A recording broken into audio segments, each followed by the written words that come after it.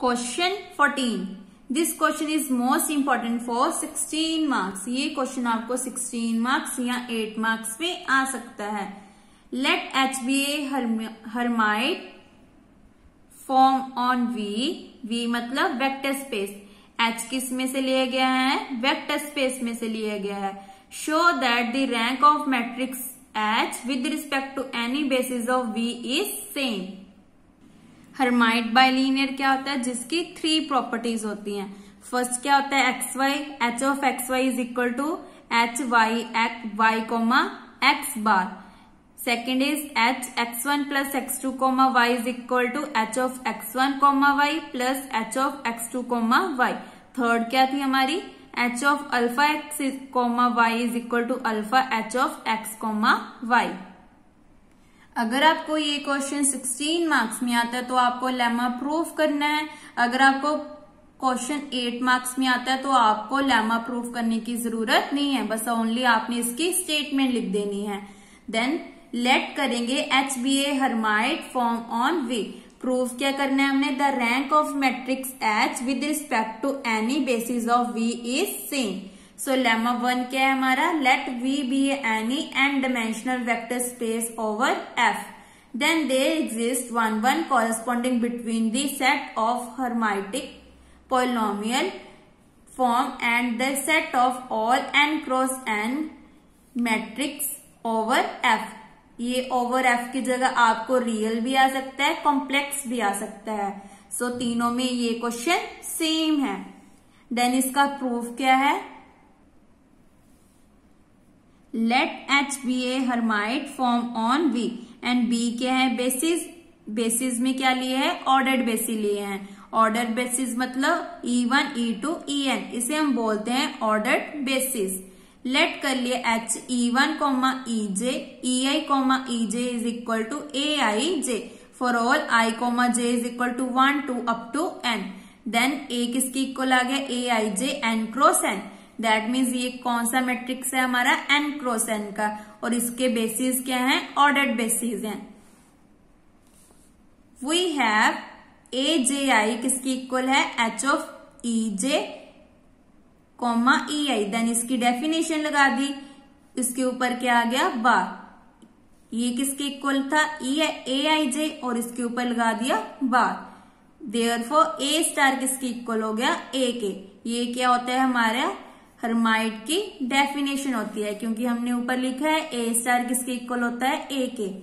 ये हमारा फॉर्म होता है हरमाइट मैट्रिक्स का। यह Hermitician matrix Hermitian matrix next हम कन्वर्स करेंगे कि लेकर चलेंगे कि हमारा ए क्या है? हरमाइट मैट्रिक्स है। किसमें से? फ़ील्ड में से। तो प्रूफ क्या करना है हमने? कि जो हमारा एच है, वो क्या हरमाइट है ऑन वी में। लेट कर लिया H V cross V to F be a defined by H X comma Y is equal to इसकी ये इक्वेशन होती है H X transpose A Y dash वैसे हमारी क्या होती है? एच वाई कोमा एक्स की Y transpose A X bar आपको ये क्वेश्चन ऐसे भी आ सकता है। नाउ वेयर एक्स किस एक्स किसके इक्वल है? एक्स बी बी मतलब बेसिस और इसके बेसिस क्या थे? ऑर्डर्ड बेसिस थे. That means E one E two E N ऐसी Y is equal to Y B claim क्या किया? दैट मीन्स हमारा मेन टारगेट क्या है? कि वाई को हरमाइट प्रूफ करना है. तो इसकी थ्री प्रॉपर्टीज़ थी जो हमने अभी डेफिनेशन में की थी.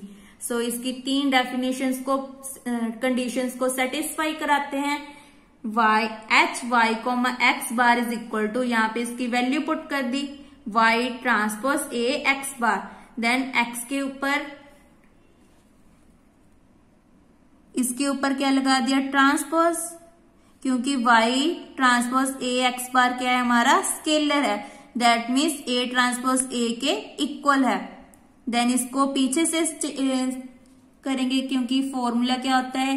A B transpose is equal to B transpose A transpose तो यहाँ पे यूज़ कर लिया देन इसके बार को सेपरेट कर दिया। बार के ऊपर बार आ जाए तो वो सेम आ जाता है। ट्रांसपिक ट्रांसपोज के ऊपर बार आ जाए तो वो क्या बन जाता है? स्टार बन जाता है। ऐसे Y transpose as it is A transpose किसके इक्वल है? ए के। क्योंकि हम ऊपर लेकर चले कि ये हरमाइट मैट्रिक्स है। इसका मतलब यहाँ पे क्या है? A star equal to A तो ये हम लेकर चले हैं। यहाँ पे पुट कर दिया। देन ये किसके इक्वल आ गया? एच एक्स वाई के। तो फ़र्स्ट कंडीशन सेटिस्फाई करिए।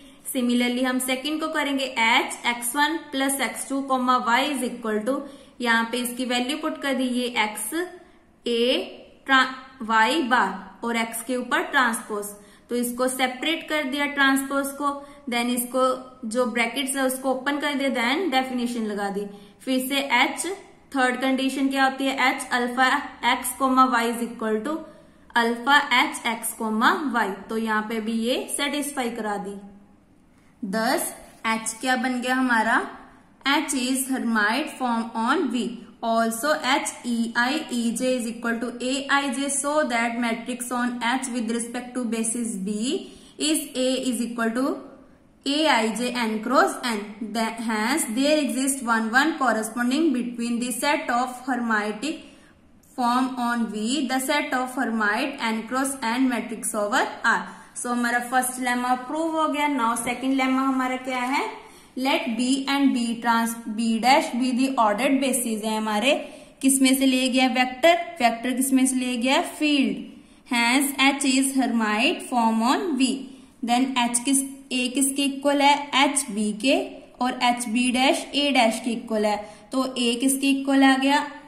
P transpose A P bar where P के हमारा मैट्रिक्स ऑफ़ ट्रांसपोज है। Transformation from B to B dash इसका प्रूफ करते हैं since P is matrix of transformation from B to B dash therefore P X B is equal to X B dash where X Y किसमें से लेते हैं हम? Vector में से। We have H X comma Y is equal to यहाँ पे इसकी डेफिनेशन लगा दी। एक्स के ऊपर ट्रांसपोज ए उसके बाद क्या होता है? ये देखो X transpose A X bar so यहाँ पे ये यूज़ कर ली। X transpose A dash Y bar B क्योंकि यहाँ पे एक्स वाई है। सो so, यहाँ पे आप वाई भी लिख सकते हो। वेयर ए डैश किसके इक्वल था?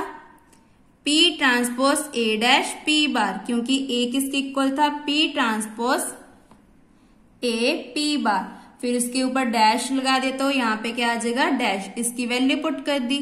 देन उसके बाद हमने क्या किया? एच ऑफ़ एक्स वाई किसके इक्वल आ गया? X B transpose P transpose A dash P transpose Y B Y B मतलब बेसिस तो एच बी किसके इक्वल आ गया? P transpose A dash P bar that means A किसकी equal आ गया? P transpose A dash P bar ये हमने प्रूफ करना था। ये देखो। लेमा टू में। Then P A is equal to A transpose A P bar